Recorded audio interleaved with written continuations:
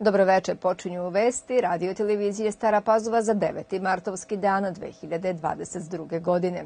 Sutra, 10. marta, zasedaće lokalni parlament po 18. put u ovom sazivu. Na sednici Skupštine opštine Stara Pazova razmotren će biti izveštaj o radu i finansijski izveštaj mesne zajednice Surduk za 2021. godinu, kao i program rada i finansijski plan Centra za socijalni rad opštine Stara Pazova za tekuću godinu.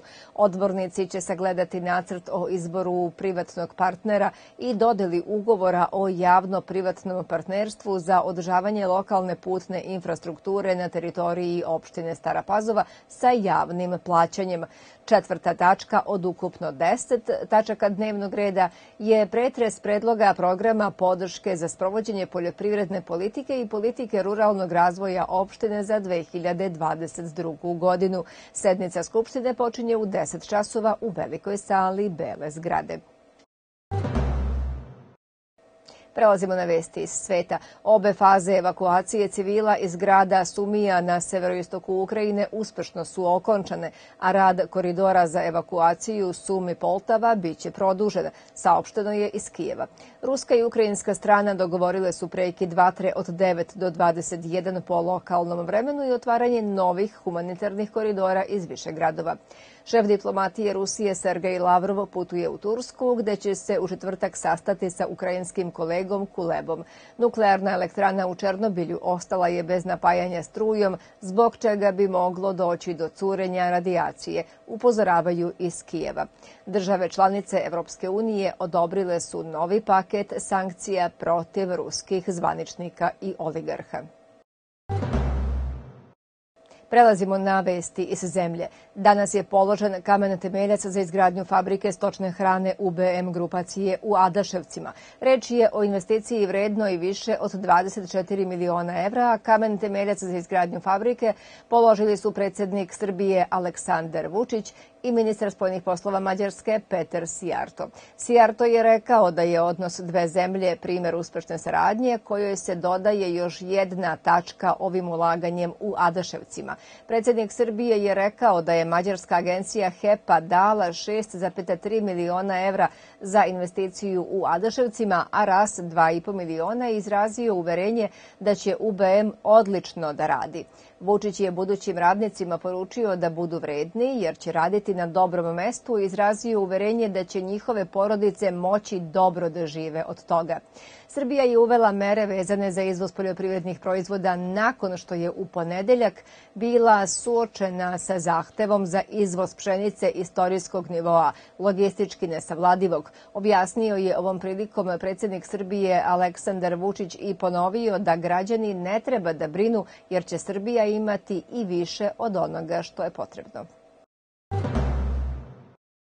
Premijerka Ana Brnabić izjavila je danas na zatvaranju 29. Kopaonik Biznis foruma da se privreda i vlada zajedno suočavaju sa krizom i da samo zajedno mogu da ostvare rezultate. Brnabićeva je čestitela Savezu ekonomista Srbije na još jednom uspešno organizovanom Kopaonik Biznis forumu i istakla da je taj forum sa svojim zaključcima važan jer već godinama funkcionišemo u kriznom menadžmentu. Pratimo situaciju sa koronavirusom, a ista se u Staropazovačkoj opštini lagano smiruje. Juče popodne i danas prepodne pregledana je ukupno 81 osoba u Staropazovačkoj COVID ambulanti. Testirana je 51 osoba, a samo pet je bilo pozitivno. Danas je testirano i devetoro dece i svi nalazi su bili negativni na COVID-19. Dosta testiranja se radi za potrebe hospitalizacije, naglašava direktorka Doma zdravlja dr. Jovan Jovanović Zmaj, doktorka Snežana Tabaković.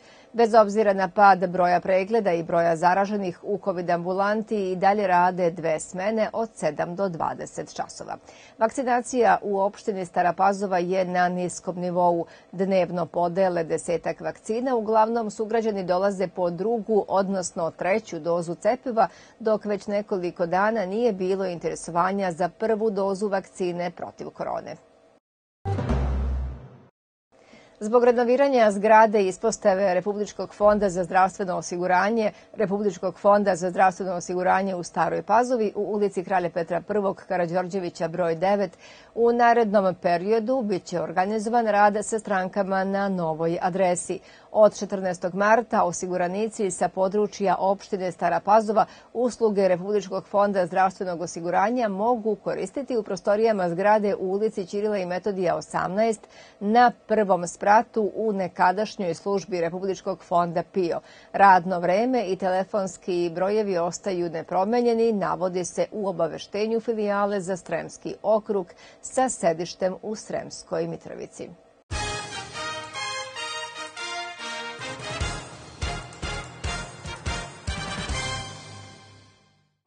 Predsednik Srbije Aleksandar Vučić danas je posetio Stare Banovce gde ga je dočekalo nekoliko hiljada građana Staropazovačke opštine. Obraćajući se prisutnima, Vučić se zahvalio na podršci i govorio o nekoliko velikih investicija u ovoj sredini u narednom periodu uz naglasak da je najveća investicija izgradnja kanalizacije. Radimo i napravili smo ugovor. Znate koliko nas košta ugovor za kanalizaciju samo za opštinu Pazova? Samo da biste imali u vidu, prečistači, kolektor u Banovcima, prečistači otpadnih voda i kišna i fekalna kanalizacija za Pazovu, za celu Pazovu, dakle, 70 miliona evra za staru Pazovu, novu Pazovu, za čitav podunavski deo, sve do Golubinaca na zapad. Dakle, to je ogroman novac. I sad kad vi kažete ljudima kanalizacija 70 miliona evra, dakle, ogroman novac, 133 km ukupno cevi, 132,78 dakle ukupno kilometara cevi. U opštini Stara Pazova se mnogo uradilo u prethodnom periodu, ali uvek može više, smatra predsednik države i Srpske napredne stranke, tako da se uskoro očekuje izgradnja Doma zdravlja u Staroj Pazovi i vrtića u Starim Banovcima. Važno je da gledamo kako da guramo dalje, kako da dovodimo nove investitore, kako da otvaramo još fabrika, kako da asfaltiramo puteve, kako da izgradimo vrtiće ovde u Banovcima za najmanje 200 do 300 dece. Osim toga što moramo ovde da uradimo vrtić i kanalizaciju o kojoj sam govorio, moramo da završimo sportsku dvoranu, moramo da uradimo u Pazovi dom zdravlja i to se dugo čeka i pogrešno što se toliko čeka. Dakle,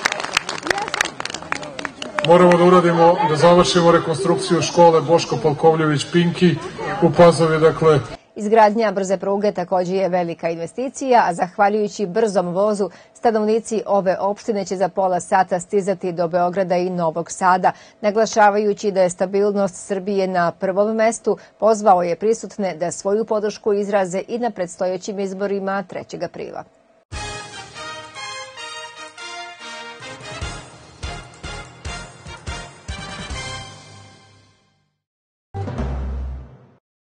Nakon uspešno završene školske smotre u okviru projekta Pažljivkova smotra, koja je realizovana u svim predškolskim ustanovama i osnovnim školama, danas je u zgradi opštine u Staroj Pazovi održano predavanje za predstojeće opštinsko takmičenje, koje je druga faza projekta. Planirano je da se takmičenje održi u periodu od 14. do 25. marta. Članovi Saveta za bezbednost saobraćaja opštine Stara Pazova bili su domaćini današnje obuke koju su održali članovi Agencije za bezbednost saobraćaja Srbije. Predavanju su prisustvovali predstavnici pet opština iz Srbije, a ono je bilo bazirano na tome kako pravilno organizovati opštinsku smotru. U toku nje škole se između sebe takmiče, a najbolje će se plasirati za regionalno, a zatim i na republičko takmičenje. U Staroj Pazovi u toku je trodnevna kolonija pletenja u organizaciji Etno mreže, krovne asocijacije proizvođača rukotvorina iz Srbije. 13 učesnika iz svih krajeva zemlje, iz Sremske Mitrovice, Pančeva, Kladova, Valjeva, Novog Pazara, Sokobanje, Loznice, Beograda, počelo je juče od svojih domaćina, članica Udruženja pazovačkih žena, da uči da plete određene delove slovačke narodne nošnje. U prostorijama društva Čmelik radit će do četvrtka kada se očekuje poseta predstavnika vlade Srbije, stranih diplomata u našoj zemlji i institucija koje su podržale ovu koloniju.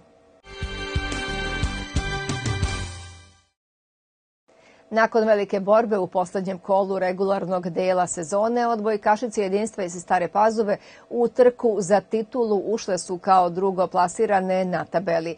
Prvu utakmicu u četvrtfinalu play-offa Banka Poštanska štedionica Superlige Srbije jedinstvo će odigrati protiv ekipe Srema iz Sremske Mitrovice. Utakmica se igra sutra 10. marta, dakle u hali jedinstvo sa početkom u 19 časova.